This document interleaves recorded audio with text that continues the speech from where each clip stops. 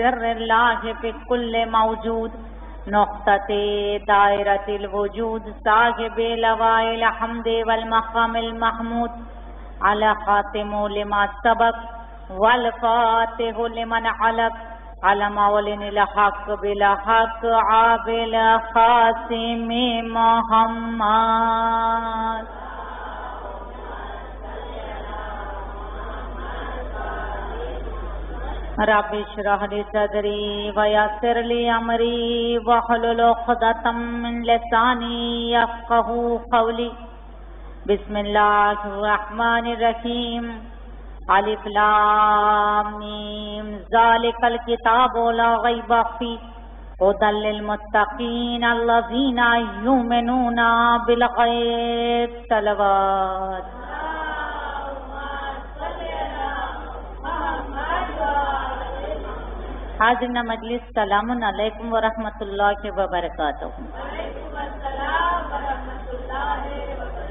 तमाम तर तारीफ़ और तौसीफ उस परवदिगार आलम के लिए उस ज़ात वाजिब के लिए उस ज़ात मुतलक के लिए उस आखर मौला के लिए कि जिसके कब्जा कुदरत में हर शह की जान है जिसने कायनात में सबसे बड़ी नियमत बनाई है आले मोहम्मद और उसका एहसान उसका करम, उसका रहम कि उसने हमारे दिलों में अहले बैत की मबद्दत और मोहब्बत को रखा। सलवा भेजे मोहम्मद वाले में।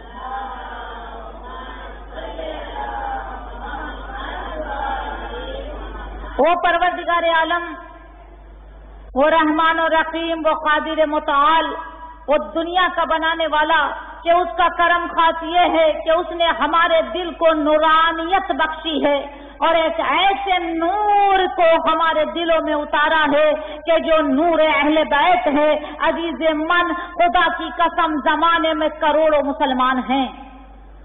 दुनिया में करोड़ों मुसलमान हैं कायनात में, लेकिन कोई फर्श आजा तक नहीं आ सकता। क्यों नहीं आ सकता? क्योंकि उनके दिलों में वो नूर पेवस्त नहीं किया गया। जो नूर हमारे दिलों में अल्लाह ने डाला है, और ये नूर हमें नूर की महफिल में बैठने के काबिल बनाता है। और आपने हर जाकिरीन, हर आलिम की ज़ुबान से ये सुना होगा कि अहले बैत इस फर्श आजा पर आते हैं।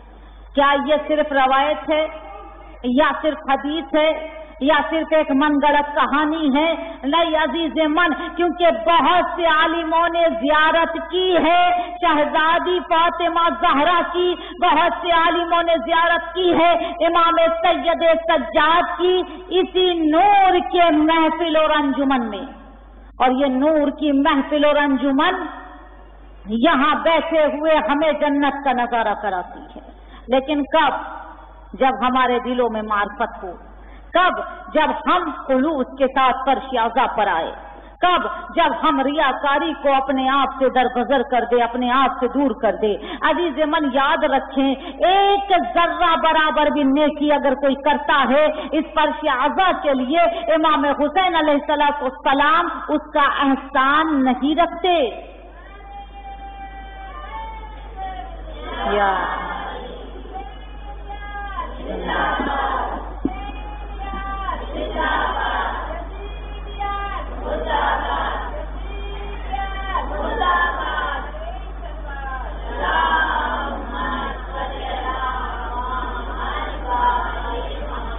भाई, ये जो सलवात पढ़ा करें ना, आप तो थोड़ा ठीक से पढ़ लिया करें, क्योंकि खुदा की कसम, बेशकीमती इबादत का नाम सलवात है, बेशकीमती।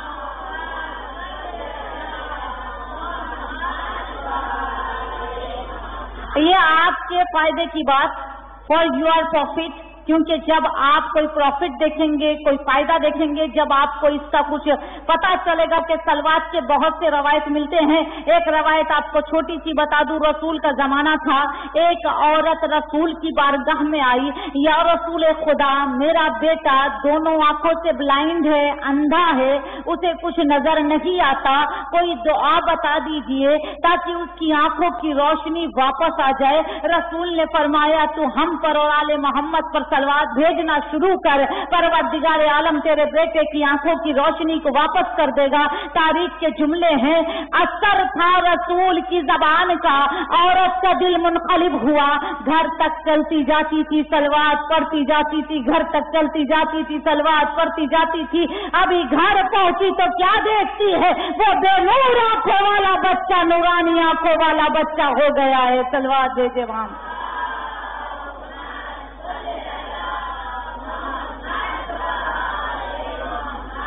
और यकीनन बहुत से रवायत हैं ऐसे एक शख्स रसूल खुदा की बारगाह में तबसल कर रहा था कर्ज के लिए।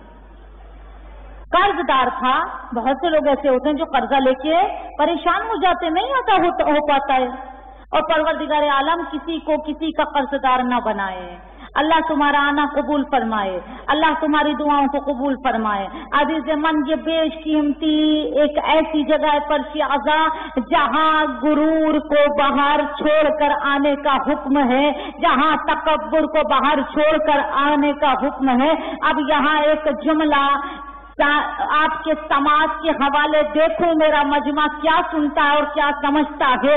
कोई भी बंदा, कोई भी बंदा यहाँ इंजीनियर हो, डॉक्टर हो, वकील हो अच्छा हो, बुरा हो, बूढ़ा हो, जवान हो, गरीब हो, अमीर हो, दौलतमंद हो, कहाँ बैठता है? पर सियाजा पर बैठता है। तो ये नहीं चाहता कि मुझे एसी का रूम हायर करके दो। मैं वहाँ मजलिस सुनूँगा। तो ये नहीं चाहता कि मुझे अच्छी जगह बिठाओ। नहीं पर अजाए हुसैन हर एक के लिए एक जैसा है। क्योंकि हुसैन फरमाता है आने वाले आप तो जा, लेकिन जा तो हुर बन के जा, सलवार भेजे मोहम्मद वाले मोहम्मद।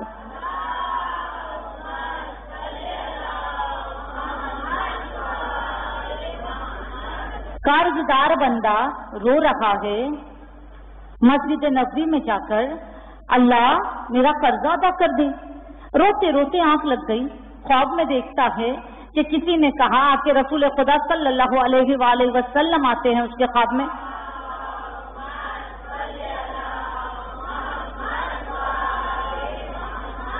और फरमाते हैं कि तू तहरान का एक शख्स है, उसके पास जा और जाके उससे कहना कि मेरा कर्जा अदा कर। जब वो तुझसे पूछे कि क्या तुम मेरे पास रख के गया था, जो मैं तेरा कर्जा अदा करूँ क्योंकि वो हमारी राह में लोगों को गर्मी के एतबार से कपड़े बांटता है, सर्दी के एतबार से, और बहुत सवाब है। सत इमाम जाफ़र सादिक, उसूल काफ़ी, में इर्शाद फरमाते हैं कि कोई बंदा है खुदा, अगर के किसी गरीब को सर्दी या गर्मी के एतबार का कपड़ा देगा खुदा वंदे मुताल उसे महशर में उसकी जगह देगा। इवन सस्ता हो या महँगा, ये नहीं बताया गया। अब अगर कोई ये कहे कि ले, मेरे पास तो पाँच हज़ार वाला कपड़ा होगा तो मैं राह खुदा में दूँगी। तो डज नॉट मैटर कि आपका कितना अमाउंट आपने राह खुदा में किया है। क्वांटिटी नहीं, खुदा क्वालिटी देखता है। आप कितना कर रहे हैं, अल्लाह ये नहीं देखता। कैसे कर रहे हैं, खुदा ये देखता है। आपका खलूक देखा जाएगा, आपका अखलाक देखा जाएगा। आपने कितना राह खुदा में दिया, आपने कितना इमाम हुसैन सलाम के लिए खर्च किया, ये मैटर नहीं करता अज़ीज़ मन। जब तक आप मौला की राह में खलूस नियत से, इवन एक गिलास शरबत भी, इवन एक गिलास शरबत, बहुत ज़्यादा बिग नहीं। नहीं चाहता मौला हुसैन कि तुम देग उतारो। नहीं चाहते मौला कि तुम अच्छा दो। नहीं, शरबत पिलाओ, खलूस से पिलाओ, मोहब्बत से पिलाओ, क्योंकि इमाम हुसैन को प्यासा शहीद किया गया था। जितना आप खलूस रखेंगी, जितना आप अखलास रखेंगी, खुदा की कसम जमाना इतना झुकेगा। मुद्दई लाख बुरा चाहे तो क्या होता है? वही होता है जो मंजूर खुदा होता है। तलवा भेजे मोहम्मद।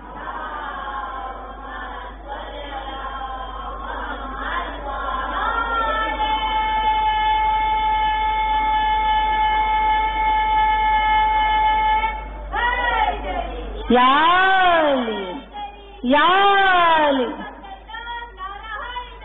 याली। याली। याली।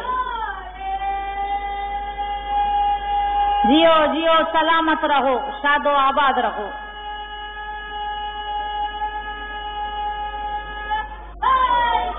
याली।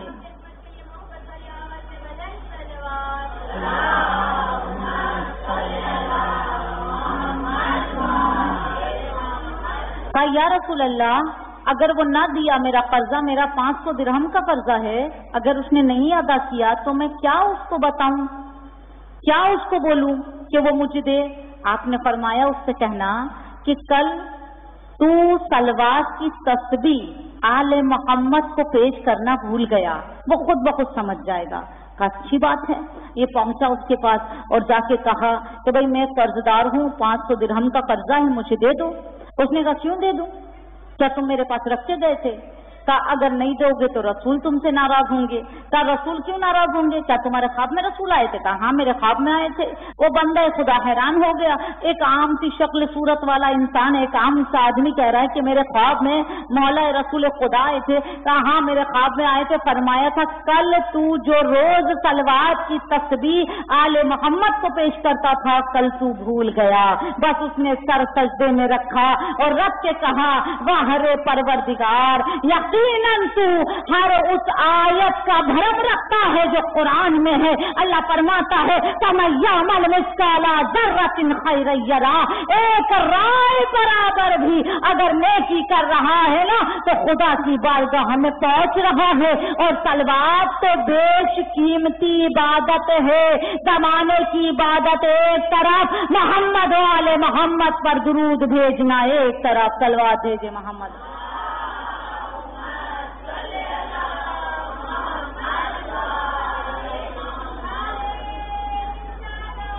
या रसूल अल्लाह या या अली या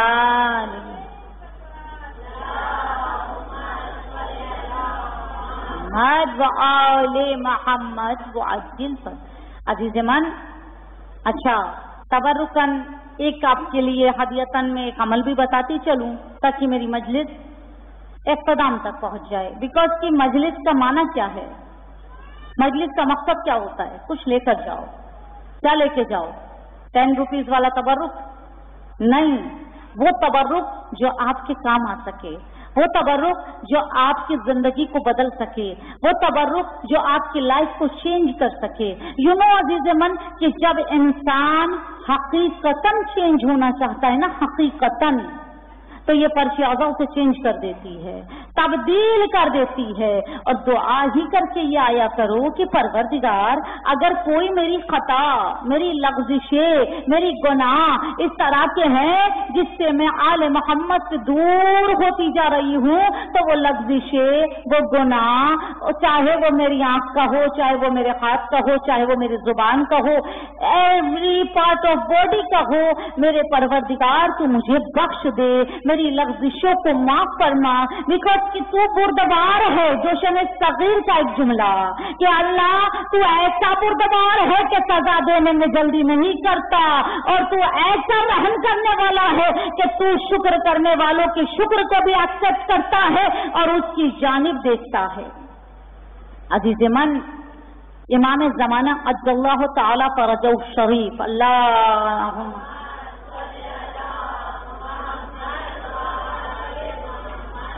आपकी लाइफ में अगर आप चेंज चाहते हैं, आपकी दुआ कबूल नहीं हो रही है तो आप डेली डेली एवरी डे आपको एक सलवार की तस्वीर, उसमें क्वांटिटी नहीं लिखी है कि कितनी पढ़नी है।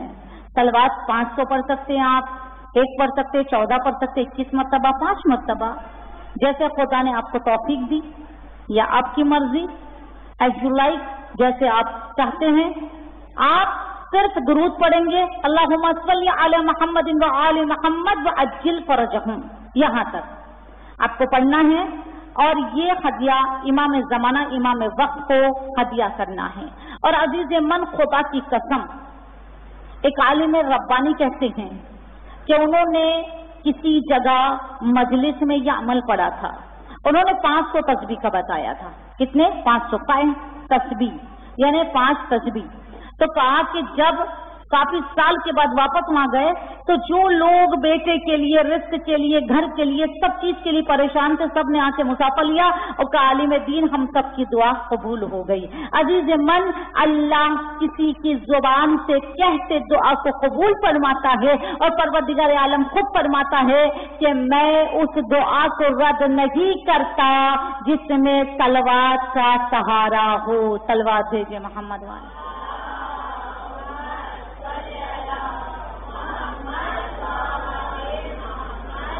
जी हाँ अज़ीज़ मन जब हम पर प्याजा पर आते हैं तो हमारे पास बहुत से ऐसे इश्यूज़ हो जाते हैं, बहुत सी ऐसी चीज़ हो जाती है जो हमें मजबूरन, जैसे फॉर एग्ज़ाम्पल किसी ने हमें कुछ कह दिया, हमें मजबूरन उसे जवाब देना पड़ा।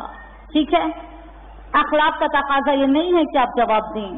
लेकिन गुस्सा हाइपर जब इंसान हाइपर होता है तो बोल देता है। अज़ीज़ मन जब इंसान ये कहे कि मैं फला जगह गई थी और मैं वहाँ बैठी, मेरे दोस्त थोड़ी सी फाहिशा लैंग्वेज पर गुफ्तगु हो रही थी तो मैं भी उनके साथ मिलकर उसमें वाह वाह करने लगी।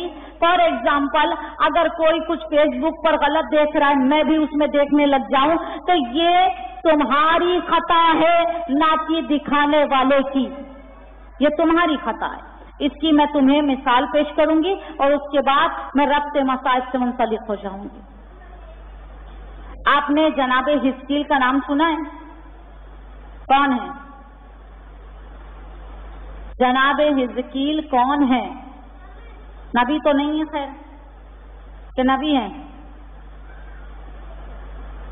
तलवा दीजिए मोहम्मद वाले मोहम्मद पर।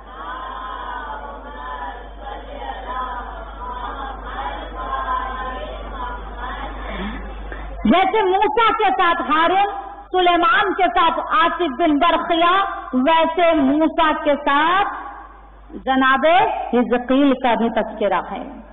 हिजकील मूसा के जमाने का मोमिन बंदा, सालह बंदा, परहेजगार बंदा अच्छा बंदा, नेक बंदा, खैर करने वाला बंदा। मैं ये जुमले, ये वाकया इसलिए पढ़ना चाहती हूँ ताकि मेरी छोटी बहनें, जो मेरी बेटियाँ हैं, ये समझ ले कि दुनिया के पुराशोभ माहौल में अगर हम अपनी हुरमत, अपनी इज़्ज़त, अपने आप को संभालना चाहे तो कैसे संभाल सकते हैं? कोई यही नहीं बोल सकता है। अच्छा भाई, तुमको तो अल्लाह ने पाँच ऐसे सेंस दिए हैं। अल्लाह ने दो शरीयत बताई है। एक शरीयत जो जाहरी तौर पर है और एक शरीयत शरीयत बातिन। शरीयत बातिन क्या है? शरीयत बातिन क्या है? हमारी अक्ल। शरीयत बातिन हमारी अक्ल है, जो हमें बताती है कि इस कायनात का बनाने वाला कोई है।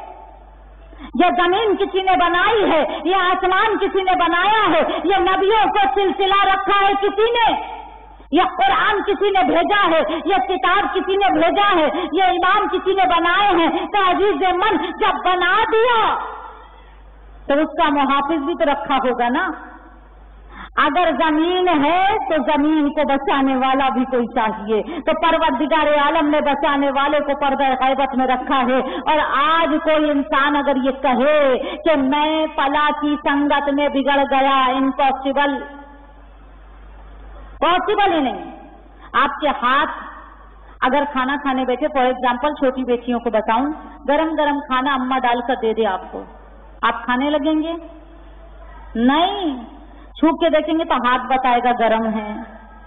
अगर माँ ने बासी खाना दे दिया तो ओफो, मम्मा, इसमें से स्मेल आ रही है, खराब खाना है।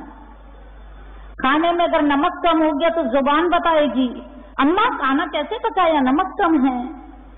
तो अज़ीज़ मन, जब इंसान के अंदर जो सेंस है, वो सब कुछ बताता है। गर्म है तो एहसास होता है, खराब है तो एहसास होता है, कड़वा है तो एहसास होता है। जो भी चीज़ देखना चाहे, सुनना चाहे, महसूस करना चाहे, सब कुछ पता चलता है।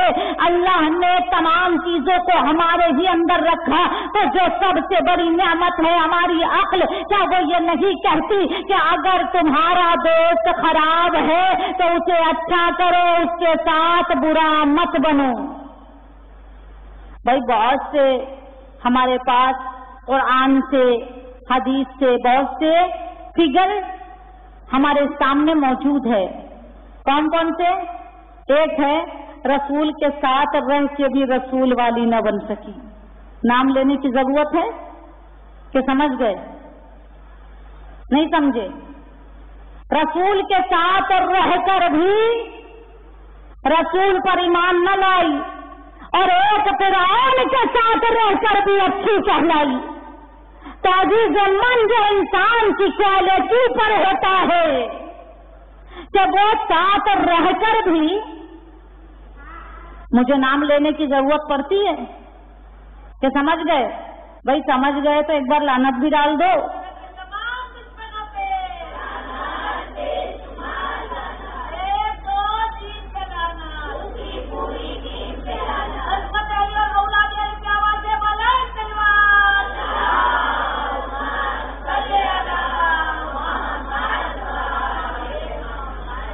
जनाब हिजिल की वाइफ कौन थी? फिरौन की वाइफ की बाल बनाने वाली हेयर ड्रेसेस उनकी कंगी करती थी। नाम था सवाना माश्ता। तारीख के जुमले हैं। मैं बहुत जल्दी से चलूँ क्योंकि मैं वक्त की पाबंदी बहुत रखती हूँ।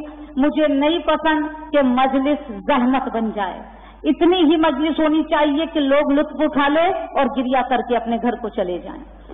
सवाना मास्टर जो थी, वो फिर की बेटी और फिर की वाइफ की जनाब आसिया की कंगी करती थी। लेकिन एक मरतबा जने फिर की कंगी न करके वो दुख्तर फिर की कंगी करने बैठी। अचानक में उनके हाथ से कंगा ज़मीन पे गिरा। जैसे ही गिरा मास्ता ने कंगा उठाया। ये कहकर बिस्मिल्लाह रहीम जो फिरौन की बेटी थी, वो एकदम हैरत जदा हुई। का तुमने क्या कहा? का बिस्मिल्ला रहमान रहीम का ये कौन सा कलमा है? ये मेरे बाबा का कलमा है। मेरा बाबा तो तुम्हारा रब है। मास्टर ने कहा नाउजिल्ला मेरा रब मूसा का रब है। मेरा रब वो है जो तमाम कायनात को बनाने वाला है। मेरा रब वो है जो नज़र नहीं आता। मेरा रब वो है जो ज़िंदगी अता फरमाता है। मेरा रब वो है जो मौत देता है। मेरा रब वो है जो हर शह पर कादिर है। अच्छा दौड़ के अपने बाप के पास आई बाबा, ये जो हिस्किल की वाइफ है ना, मास्टर, ये बहुत खराब है बाबा। ये आप पर ईमान नहीं रखती है? अच्छा मुझ पर ईमान नहीं रखती का? नहीं, बिल्कुल नहीं। ये तो किसी और रब को मानती है। आपको खुदा नहीं मानती है। एक मरतबा फिर आम को जला लाया का आग लगाओ। बहुत सारी लकड़ियाँ जलाई गई। वही अंदाज नमरूद ने जिस तरह इब्राहिम के लिए आग जलाया था, वही आग का शोला भड़काया गया। का इनके पाँच बच्चे हैं। अच्छा बच्चे भी कैसे थे बिचारी के? थर्टीन से लेके तेरह साल की उम्र से लेके दूध मोहा बच्चा तक। पाँच बच्चे थे। ताकि इनके सामने पहले इनके चार बच्चों को जलाओ। जहाँ पे मास्टर ने कहा, हम दो फना उस रब के लिए कि जिसने मेरी ज़िंदगी को यहीं तक रखा कोई मसला नहीं। तुम मुझे जला दे, लेकिन मेरी एक ख्वाहिश है, उसे ज़रूर पूरा करना। शरीयत कहती है कि कोई मर जाए तो उसे दफन किया जाए। मेरे बच्चों की हड्डियाँ और मेरी हड्डियाँ जो आग में से बचे, उसे दफन कर देना। उसने चिल्लाया नहीं कि कहा गया मूसा? मुझे क्यों अकेला छोड़ दिया? मैं तो तेरे रब की तरफदारी कर रही थी। देखिए, मुझे मार रहा है, नहीं चिल्लाया। अज़ीज़ मन आज का इंसान होता तो चीज़ चीज़ के कहता, ऐ मूसा, मैं तेरे लिए कर रहा था, तू मुझे बचाने भी नहीं आया। परवरदिगार, तूने मुझे नहीं बचाया। अज़ीज़ मन, ये ईमान की दलील है। अगर सख्त मुश्किल भी आए तो अल्लाह वाला बंदा सब्र शुक्र इस्तकामत के साथ काम लेता है और यही काम खुदा को पसंद आता है। उन्हीं के सामने उनके चार बच्चों को जला दिया गया। जब दूध मोहे बच्चे की बात आई ना तो माँ तो माँ होती है। तड़प गई, अल्लाह मेरा छोटा सा बच्चा। अल्लाह ने ज़ुबान दी। मासूम बच्चे ने कहा, ऐ मेरे माँ, अल्लाह ने बताया है कि ऐसे जालिम के साथ रहने से बेहतर खुदा की वहदानियत का इकरार करते हुए दुनिया से रुख्सत हो जाओ। अम्मा कूद जाओ आग में। अज़ीज़ मन वो आग में कूद गई और अल्लाह ने माशता की मंजिलत को ऐसा बढ़ाया ऐसा बढ़ाया कि जब शब मराज रसूल खुदा जिब्राइल के साथ जन्नत की सैर कर रहे थे न कहा एक चमकदार खुशरे से बड़ी तेज खुशबू आने लगी। रसूल ने पूछा, ऐ जिब्राइल, ये कैसी खुशबू है? फरमाया, ये मूसा के जमाने में जो हिस्कील की वाइफ थी, जिसे फिर ने जला के मार दिया था, उसके बच्चों के साथ खुदा बंदे मुताल ने उन्हें ऐसा जिसमाता फरमाया जो रो से नहशर तक महसता रहेगा। सलवार भेजे मोहम्मद।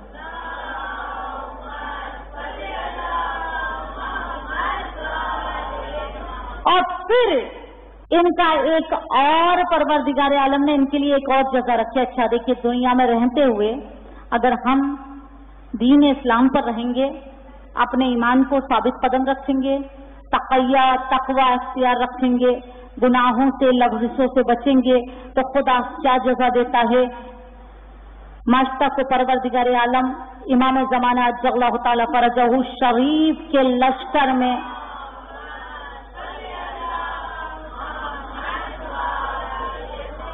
तीन सौ तेरह डिजिट में से एक ये भी हैं। अल्लाह अकबर। जब इंसान कुछ आले मोहम्मद के लिए या परवर दिगार आलम के लिए करता है तो खुदा उसकी किसी भी नेकी को रायगा नहीं जाने देता। इसी तरह मेरा मौला हुसैन है। कोई भी फर्शियता पर आए कैसा भी आए, गुनाहगार हो, खताकार हो बेकत हो, मजलूम हो, अमीर हो, गरीब हो, सबको मेरा मौला देख रहा है। अच्छा एक एक पल की नज़र रखता है मौला एक एक पल। तो ये ना सोचे कि मैं परशियाजा पर आकर किसी की बुराई करके चली जाऊँगी तो हुसैन की नज़रों की जद में नहीं रहूँगी, हरगिज नहीं। ये परशियाजा पर आए तो इस तरह आए कि जैसे हुर शब आशूर मौला की बारगाह में आ गया था। अज़ीज़ मन मैं मसाइब की तरफ़ मुंतकिल हो जाती पर एक जुमला कि मौला हुसैन कैसे देख रहे हैं? ये दो लाइन का वाक्य आप सुन लीजिए। एक आलिम दिन कहते हैं कि हमेशा हम लोग मजलिस में बैठा करते थे, एक गरीब आता था और चाय खाली पीता रहता था बाहर बैठ के। तो आलिम कहते मेरी नज़र जब भी उस पर पड़ती थी तो मुझे बहुत जलाल आता था। ये क्या? ये क्या खाली चाय पीने आता अपने घर से? आता और चाय पी के चला जाता है। न रोता है, न सलवार पड़ता है, न मजलिस में बैठता है, बाहर बैठता है चाय पी के भाग जाता है। ये कैसा आदमी है? वो आलिम दिन कहते कि मेरी जान बहुत जलती थी, लेकिन मैं कुछ कह नहीं पाता था। होता है कोई कोई इंसान वही तक कोई नादेर आपा के जैसे थोड़ी होते।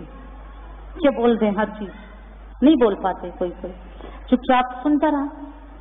बस गुजरता गया। एक दिन आलिम दिन से सहा नहीं गया तो भैया तू क्यों खाली चाय पीने आता है? अंदर आके बैठा करना। तो तुझे तुम्हें क्या लगता है आलिम दिन कि मेरे घर में दूध नहीं है? मेरे घर में शक्कर नहीं है? मेरे घर में पत्ती नहीं है? मेरे पास सब कुछ है, लेकिन ये लज्जत नहीं है जो हुसैन के तबर्रुक में है। लेकिन ये लज्जत नहीं है जो हुसैन के तबर्रुक में है। तुम्हें नहीं पता, हुसैन का तबर्रुक शिफा देता है।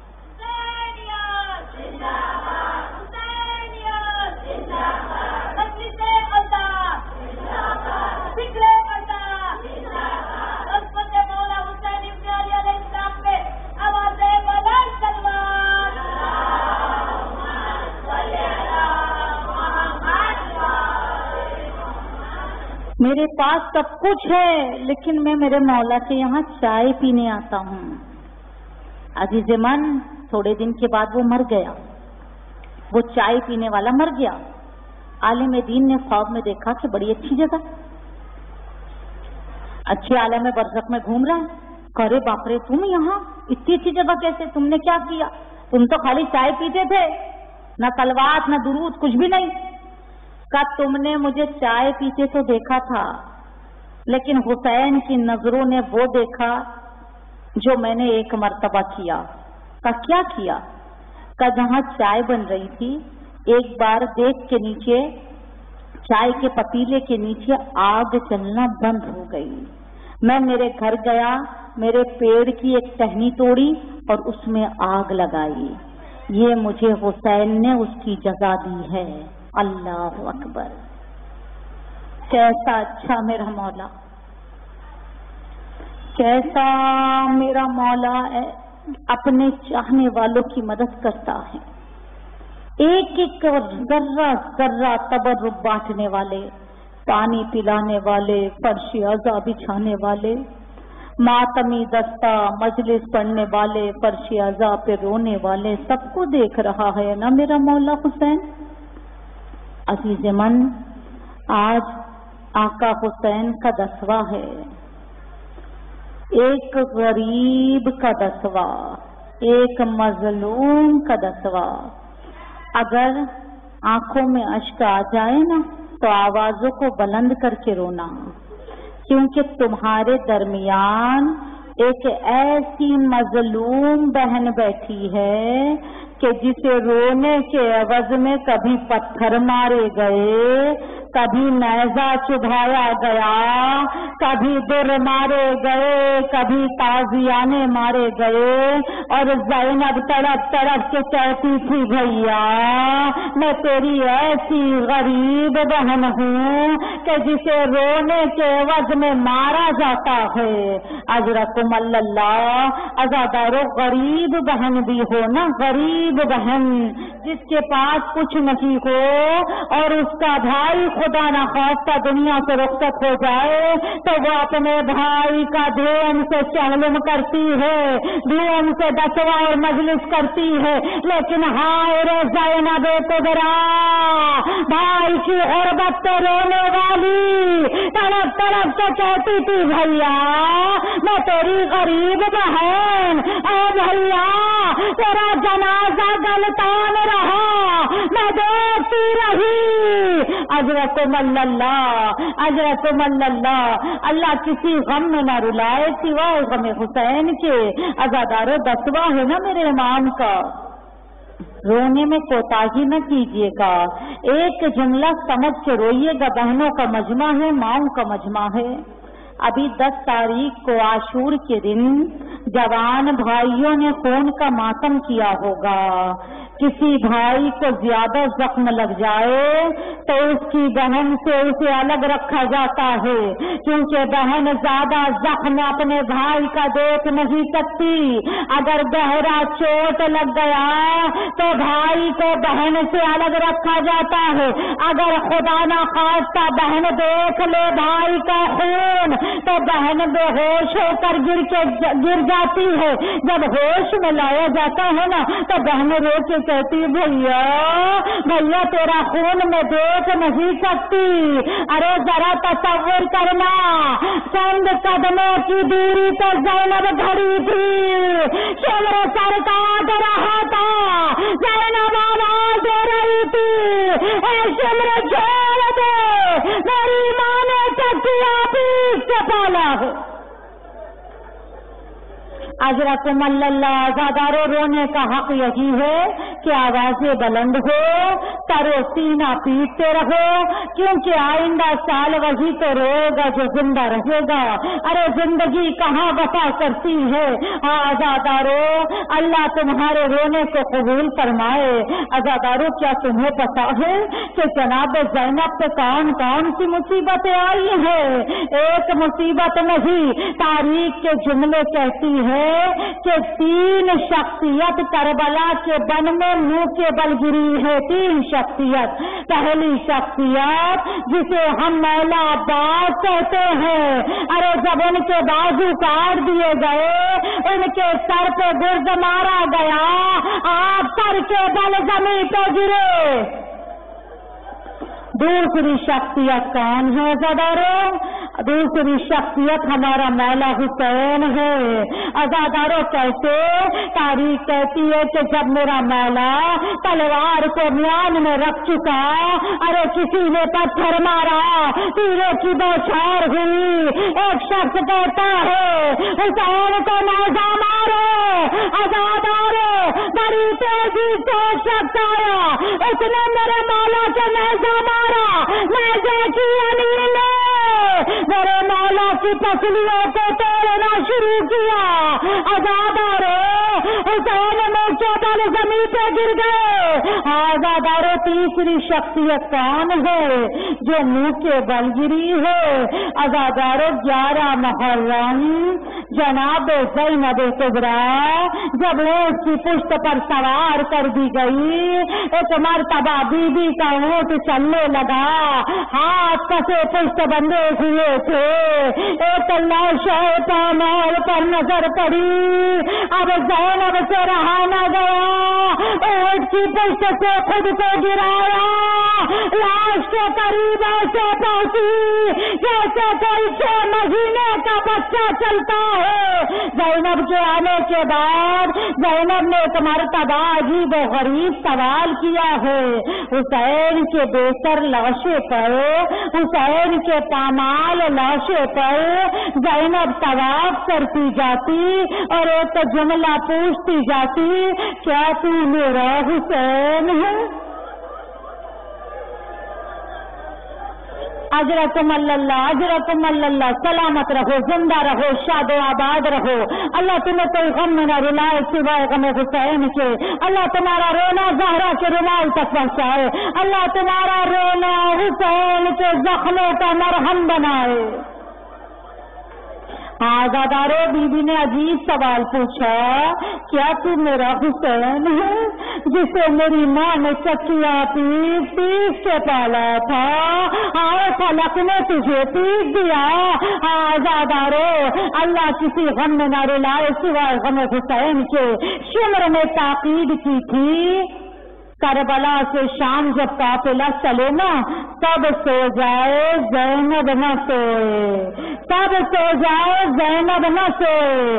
अगर जैनब सो गई तो कुत आ जाएगी। अगर कुत आ जाएगी, अली की बेटी शाम का तख्ता पलट देगी। अदादारो, हारिस नाम के एक शख्स को बीबी जैनब की निगरानी पे रखा गया। अदादारो, जहाँ बीबी आँखें बंद करने लगती ना तो ताजियाना आता। बीबी के पुष्ट पर सतरे सलाम लिखने लगता। अरे जैनब तरफ़ जाती। आजादारो एक मरतबा, ये काफिला मौसूल के करीब पहुँचा, शाम के करीब पहुँचा। जब शाम के करीब पहुँचा ना, अली की बेटी बड़ी थक गई थी। कई दिन की भूखी प्यासी थी, लाशों पर रो चुकी थी। भाई के जख्म को कलेजे से लगाए हुए थी। अकबर की जवानी का दाग सीने में पेरस था। अली की बेटी को एक पेड़ नज़र आया। अली की बेटी ने उसको सर लगाया। अजादार सर का लगाना था। कई दिन की थकी हुई दीदी नींद की आगोश में चली गई। अरे किसी ने आवाज़ दी हारे जैनब सो गई है अजरकुम अल्लाह अजरकुम अल्लाह खुदा किसी गम में न रुलाए सिवाय गम हुसैन के। अब जो जुमला मैं आपके सामने बयान करना चाहती हूँ, नाजादारो, अगर सीने में दोस्त का टुकड़ा है ना लरज जाएगा दिल तो तुम्हारे तबा हारिज ने एक बेलचा उठाया। बड़ी तेज़ी से दौड़ा, अली की बेटी के सर पे मार दिया। अजादारे कौन का तो फवारा छूट गया। जाना खून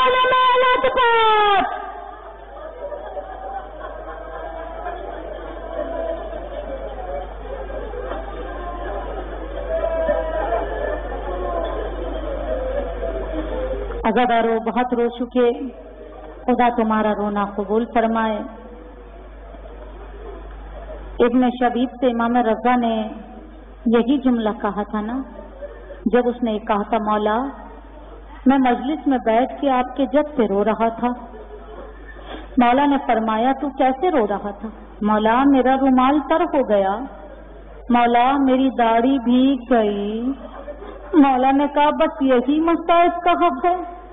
फिर मौला, कैसे रो फरमाया, ऐसे रोया कर जैसे किसी बेवा माँ का जवान बेटा मर गया हो और वो उसकी मैया पर बैन करके रोती हो। आजादारो हुसैन के गम में रोने वालों, बस मैं एक जुमला रब से मसायब में ले रही। मैंने ये मसायब बहुत नहीं पढ़े। क्यों नहीं पढ़े आजादारों क्योंकि इसकी तस्दीक बाकी थी और अब मुझे तस्दीक हो गई है। इसीलिए मैं ये मसायब आपके सामने पढ़ रही हूँ। खुदा की कसम, बहुत अजीब ये जुमला है जो कहने से पहले दिल लरज रहा है। क्या तुम्हें पता है कि कूफा जब काफिला पहुँचा था, उससे पहले हुसैन के सर को ले जाया गया था। ऐ मेरे अल्लाह, तुझे उस वास्ता जब हुसैन का सर पिछड़े साथ के सामने कूफे के घर में पेश किया गया। उसने कहा, गुलाम हुसैन का सर उठा। अजादारो तस्वुर करना कटा हुआ सर कैसे उठाया जाता है? उसने मेरे मौला के बालों में हाथ डाला। और सर को उठा लिया। अजरकुम अल्लाह अजरकुम अल्लाह इमाम जमाना तुमसे राज़ी होकर जाए। माला तुम्हारे पुरसे को कबूल फरमा माला हुसैन का दसवा है, जैनब को पुरसा देना है दादारो उसने जैसे ही सर को उठाया ना एक मरतबा मलाउन ने सर को घूम घूम कर देखना शुरू किया। जब सर को घूम घूम के देखना शुरू किया। उस शख्स ने जिसने सर उठाया था, उसने पूछा, क्या देखता है? का खून से कुछ नज़र नहीं आता। हुसैन के सर पे पानी डालो। आजादारो हुसैन के सर पे। पानी डालना शुरू किया गया। जब हुसैन का सर साफ़ हो गया, अब उसने एक मरतबा सरे हुसैन को देखा। और मलाउन कहता है, अरे ये सर तो शिमर ने बेतरतीब काटा है। आज रकम अल्लाह आज रकम अल्लाह आगे का जुमला मेरे बस की बात नहीं पढ़ना। लेकिन आजादार दुआ करो, अल्लाह मुझे हिम्मत दे दे। ये जुमला मैं आज के सामने पेश कर सकूँ। एक मरतबा उसने कहा, अरे हुसैन के सर को शिमर ने कैसे काटा? कहीं से चमड़ा ज़्यादा लटक रहा है? कहीं से बेतरतीब है?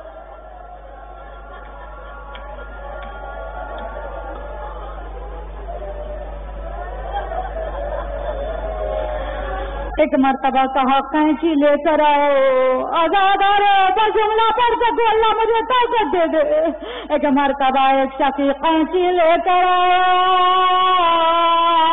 अरे हुसैन के गले के चमड़े को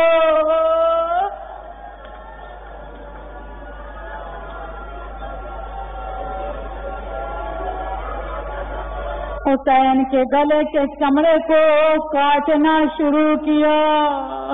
एक अली का चाहने वाला खड़ा था। उसने सारो सीना पीट लिया। अरे अब तो छोड़ दो। फातिमा गला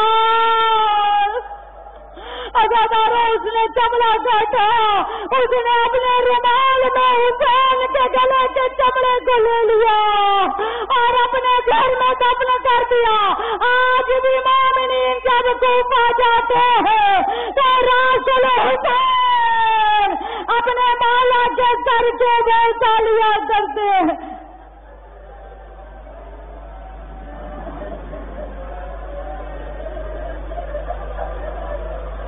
परवरदिगार वाली आँखों को कोई गम न दे सिवाय गम। अल्लाह हमारे इमाम का जहूर फरमा। अल्लाह मोहम्मद वाले मोहम्मद के सबका तसदुक से हम सबका आना कबूल फरमा। बानी मजलिस की दुआओं को कबूल फरमा। अल्लाह तो हमारे अंदर हुसैन की अजादारी करने का खलूस पैदा कर दे। अल्लाह हम सबको रियाकारी से दूर फरमा। अल्लाह तो हमारी तोफ़ीक़ात में इजाफा फरमा। परवरदिगारा, हम सबको मासूमीन की जियारत नसीब कर। हज उमरा से मुशर्रफ फरमा, ज़िक्र अहल बैत में जर्रा बराबर भी जो भी मदद करता, अल्लाह उस सबकी मुश्किलों को आसान फरमा तकबल मिन्ना तक अंत